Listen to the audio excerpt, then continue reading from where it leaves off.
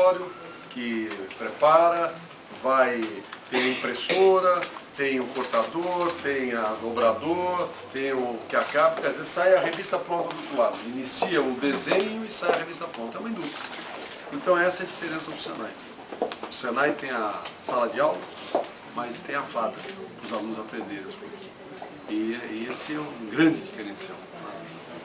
Paulo, eu é muito, ele fica muito feliz porque uma escola dessa, no país, sabe, eu vou contar uma história para vocês. Eu recebi há uns dois anos o presidente de uma entidade chamada NAM, é, é, é, é a entidade que representa a indústria dos Estados Unidos. O presidente é um ex-governador, chama, chama John England. E aí ele, ele foi a Brasília, visitou o Congresso, visitou isso, visitou aquilo, depois veio a São Paulo, reuniões para cá e para lá. E houve uma sobra, eu falei, o presidente, não quer aproveitar e fazer uma visita a uma escola nossa no Senai?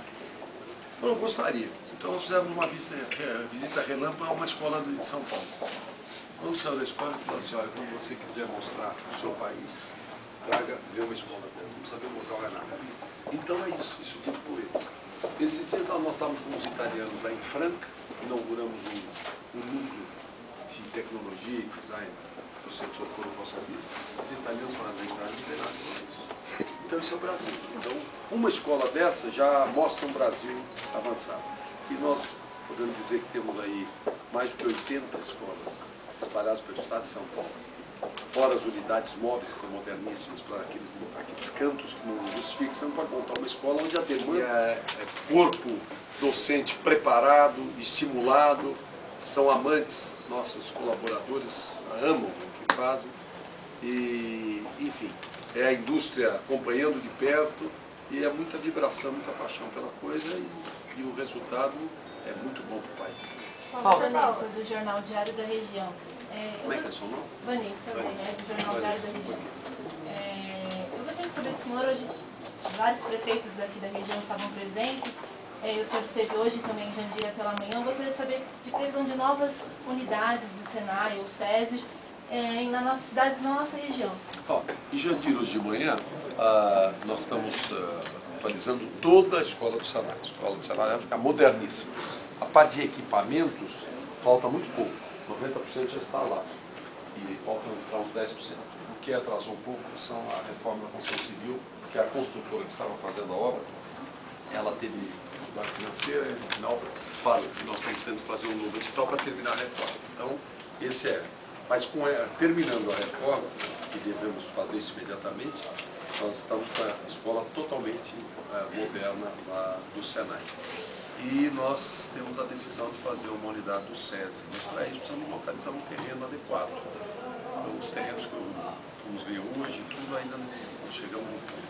Porque as nossas unidades do SESI agora, não, não podem ser unidades, terrenos pequenos. Nós, estrategicamente, definimos que todas as nossas escolas, nós queremos para todos os nossos alunos, mais de 100 mil crianças, um ensino em tempo integral. Ensino em tempo integral, você tem que ter espaço, você tem que ter sala de aula, você tem que ter cozinha, você tem que ter refeitório, você tem que ter laboratório de ciência, você tem que ter laboratório de informática, você tem que ter biblioteca, você tem que ter quadra poliesportiva, porque o dia inteiro na escola não é só em sala de aula, tem que fazer esporte, praticar esporte. Nós estamos estimulando agora o esporte de rendimento no SES, lançamos o nosso, o nosso time semana passada de vôlei masculino, contratamos o Giovanni, lançamos o time né, de vôlei masculino do SES, é, lançamos, começamos com o polo aquático ano passado, já ganhamos o Campeonato Brasileiro. Enfim, tudo isso para quê? Para estimular a molecada toda a praticar esporte. Não só nossos 120 mil crianças, mas através da mídia, que se divulga, e milhões de outros jovens, porque a educação é a prioridade. Mas para a formação humana é importante alimentação, é importante a prática esportiva, para todo mundo. Quem não pratica esporte, tem que praticar. Tem um esporte é bom. Mais ou menos tem que fazer. Né?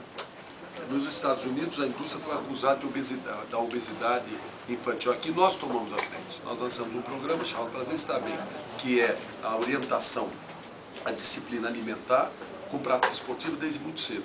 Então a criança aprende que pode comer de tudo, mas com equilíbrio. Não comer uma caixa desse tamanho de chocolate. Não é proibido comer chocolate, mas pode comer moderadamente e com prática esportiva. Isso vai fazer bem à saúde. São mais de 200 mil crianças já passaram por esse programa. Então é isso. No, no SESI São Paulo são 240 mil alunos e no Senai, esse ano, vamos buscar um milhão e meio de matrículas. Vamos buscar chegar a um milhão e meio de matrículas. No ano passado tivemos um milhão cento e poucas. Né? É, então, um milhão e duzentas e vamos buscar um crescimento aí de 20%. Enfim, e é isso aí. Isso aqui para nós é, é gratificante, é o lado bom da, da história. É, enfim, e daqui a pouco nós vamos estar vendo aqui alunos aí, até estamos discutindo a estratégia ensino fundamental, ensino médio, de repente se a demanda maior for para ensino médio, intensifica o ensino médio, talvez faça fundamental se estiver bem atendido. Importante não é fazer escola para fazer, é como o ensinar e o aprender. Mais importante do que ensinar é o aprender, não adianta ensinar se o outro não está aprendendo. Desde que o outro aprenda, isso é que importa. E aqui é mais ou menos a mesma Paulo, Cauê Rigamonte, da Prefeitura de Barueri. Queria que você é, falasse um pouquinho mais do SESI, dizendo se, é, se vai ser em Barueri o primeiro centro integrado SESI-SENAI e se existem outras prefeituras parcerias dessa maneira. Olha, a parceria com a Prefeitura de Barueri é uma parceria bastante especial. É, a gente tem parceria com muitas prefeituras e muitos tipos de parceria, tanto no SESI como no SENAI.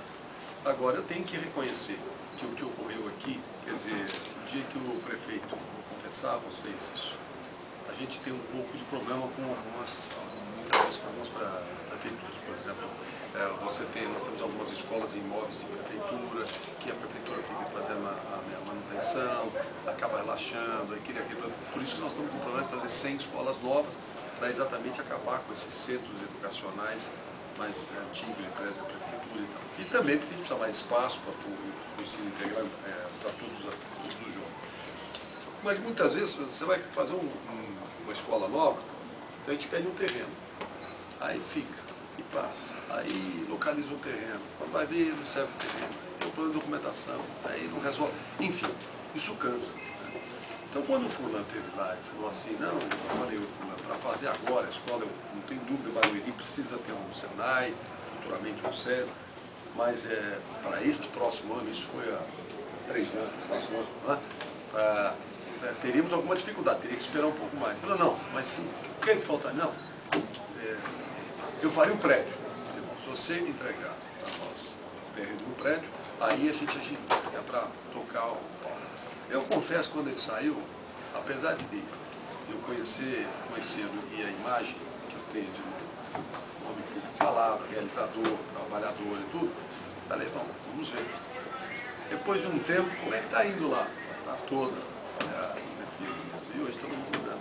Então, é uma parceria, eu não posso, eu não estou criticando ninguém, mas eu não posso deixar de elogiar que aqui o que se falou se cumpriu. E nem sempre você vê isso. Eu aprendi na minha vida que ninguém é obrigado a tratar nada, mas o que se trata tem que se cumprir. Assim eu aprendi. E me, me revolta muito quando eu não encontro isso, principalmente no poder público. As pessoas falam, cumprem, rolam, empurram com a barriga, mas não é o caso aqui não. E aqui falou, cumpriu. Acertou o projeto do, do SESI, nós já iniciamos a contratação da obra.